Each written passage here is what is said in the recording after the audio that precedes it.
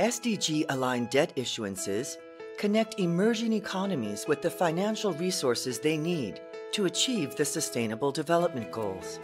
Sovereign debt issuances through thematic debt can play a pivotal role in driving financial transformation if they are planned and executed properly.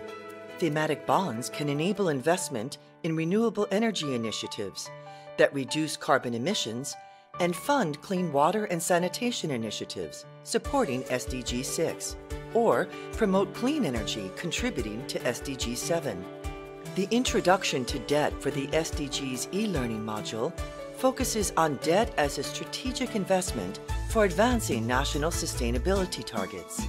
You will learn about the different types of SDG aligned debt instruments blue bonds, green bonds, sukuks, and explore how they can be used to advance national sustainability efforts while gaining useful insights on evaluating projects' alignment with the SDGs, issuing debt sustainably, developing thematic bond frameworks, and understanding the roles of different stakeholders toward the issuance of debt that leads to long term resilience.